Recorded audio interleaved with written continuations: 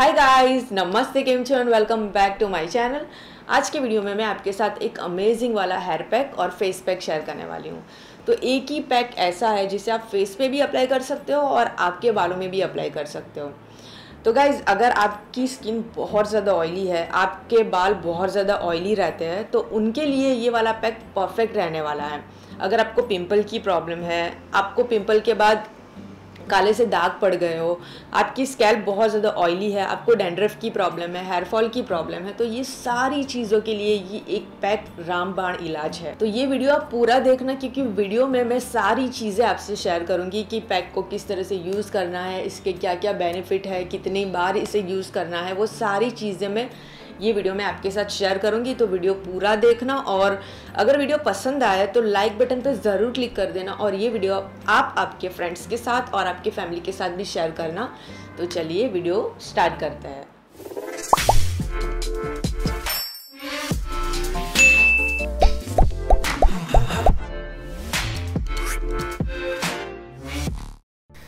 तो वो amazing pack का नाम है केओलिन क्ले या फिर इसे काओलिन क्ले भी कहा जाता है। ये मैंने ऑनलाइन ख़रीदा है, अगर आपको भी ख़रीदना है।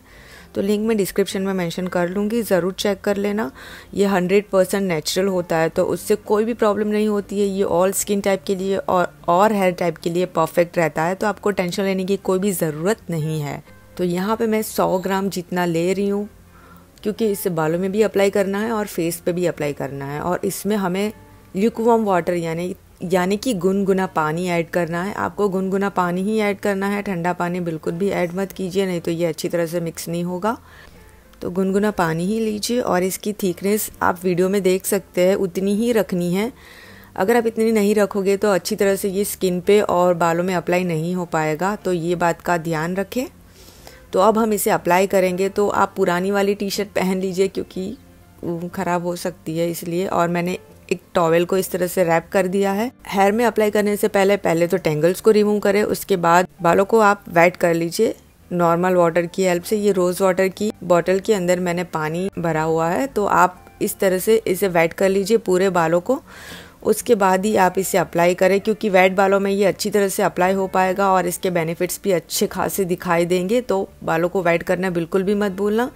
तो सबसे पहले मैं इसे फेस पे अप्लाई करूँगी। तो गाइस इसके बेनिफिट्स बहुत बहुत ही अमेजिंग है। ये स्किन से डर्ट को रिमूव करता है स्किन को हेल्दी बनाने में हेल्प करता है एक्सेस ऑयल को रिमूव करता है स्किन को ब्राइट बनाता है, चेहरे का रूखापन और दाग धब्बे को दूर करता है पिंपल को दूर करता है पिंपल से होने वाले दाग धब्बे को हटाने में मदद करता है। ये नेचुरल डिटॉक्स करके स्किन को एक्सफोलिएट भी करता है स्किन पे इचिंग की प्रॉब्लम को सॉल्व करता है। अगर आप इसे रेगुलर यूज़ करोगे ना तो आपकी स्किन पहले से ज़्यादा लाइटन होगी।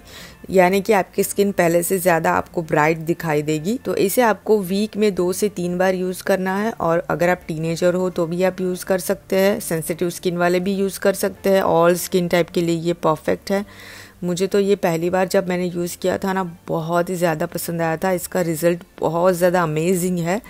तो आप इसे ज़रूर ट्राई करें। अब मैं इसे बालों में अप्लाई करूँगी। तो दोस्तों, बालों में अप्लाई करने के लिए सबसे पहले तो हमने बालों को वेट कर लिया है। अब हम इसे अप्लाई करेंगे। ऑयली स्कैल्प की प्रॉब्लम को दूर करता है। बालों को स्मूथ बनाता है शाइनी बनाता है। और हाँ गाइज़ एक बात ज़रूर याद रखें कि जब हमारी स्कैल्प ऑयली होती है ना, वहाँ से ही हमारे बालों में सारी प्रॉब्लम स्टार्ट होती है। जैसे कि हेयर फॉल होना डेंड्रफ होना, बाल फ्रीजी हो जाना डैमेज हो जाना तो ये ऑयली स्कैल्प को कंट्रोल करता है रिपेयर करने में हेल्प करता है डेंड्रफ की प्रॉब्लम को भी दूर करता है और आपके बालों को स्मूथ शाइनी तो बनाता ही है। साथ में हेयर ग्रोथ भी बढ़ाता है और बालों को जल्दी से लंबा करने में भी हेल्प करता है। तो आप इसे स्कैल्प में अच्छे से अप्लाई करें, पूरे बालों में अप्लाई करें हेयर लेंथ में अप्लाई करें। पंद्रह साल से लेके सारी एज वाले इसे यूज़ कर सकते हैं। और ये आपके बालों के लिए एक रामबाण इलाज है, बहुत ही अच्छा क्ले है। तो ये ऑनलाइन इजीली मिल जाएगा या फिर आपके आजू बाजू में कोई आ, मेडिकल स्टोर है वहाँ पे भी ये मिल सकता है। तो वहाँ पे भी आप एक बार चेक कर सकते हैं। अदरवाइज़ ऑनलाइन तो मिल ही जाएगा। 20 मिनट तक रखना है और 20 मिनट के बाद हम शैम्पू और कंडीशनर की हेल्प से वॉश कर लेंगे बालों को और ठंडे पानी की हेल्प से फेस को वॉश कर लेंगे।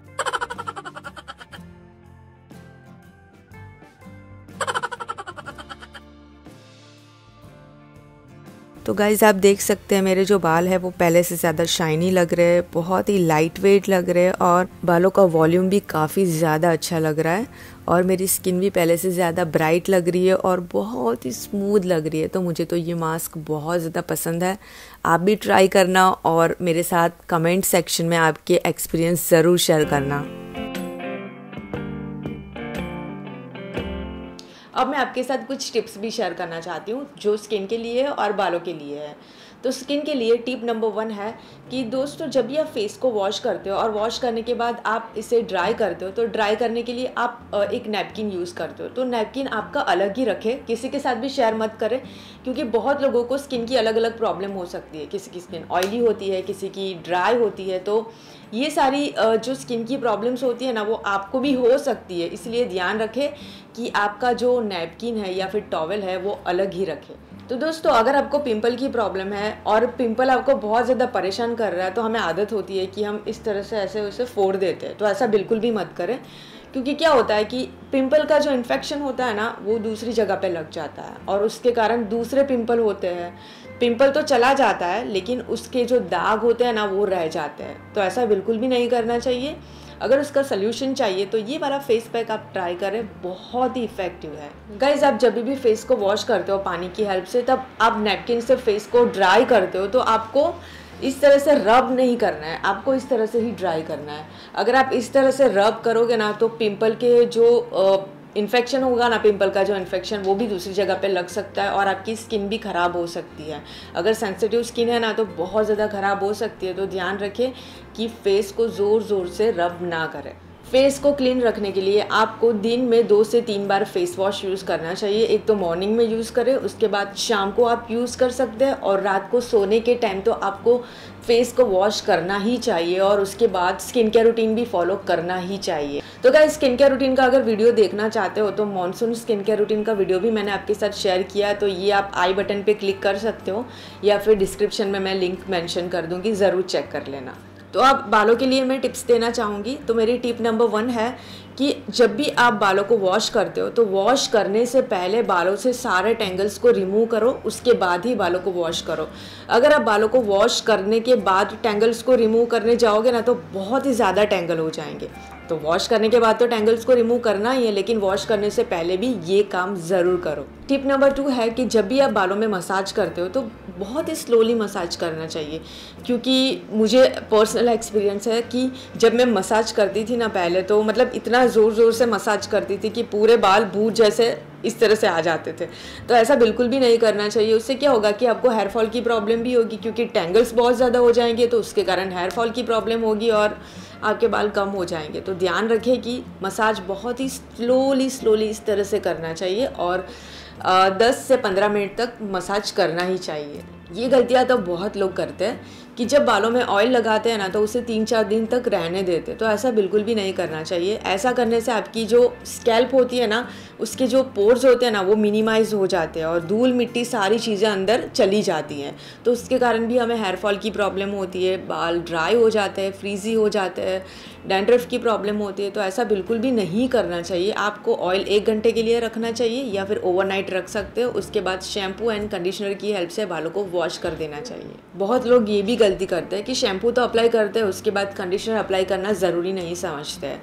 बहुत लोगों को तो कंडीशनर किस तरह से यूज़ किया जाता है, वो भी नहीं पता है। तो गाइज़ उसका वीडियो भी मैंने आपके साथ शेयर किया है कि बालों को किस तरह से वॉश किया जाता है। तो अगर आपको वो वीडियो देखना है तो उसकी लिंक मैं डिस्क्रिप्शन में मैंशन कर दूँगी, ज़रूर चेक कर लेना।